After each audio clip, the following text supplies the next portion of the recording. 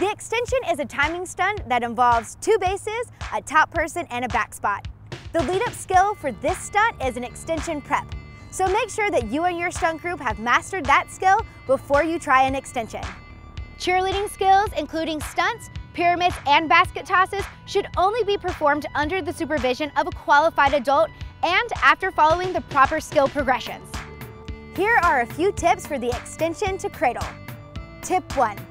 Bases should generate power using their legs to drive the top person to the top. When cradling, use your legs and finish the pop through your hands. For the catch, keep your arms up and cushion the landing. Tip 2. The top person should stand up quickly as the bases stand and keep their feet shoulder width apart.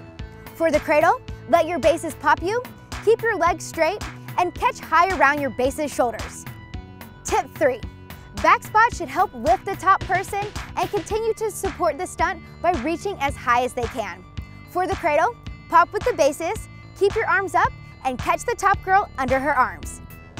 And that's how you do an extension to cradle.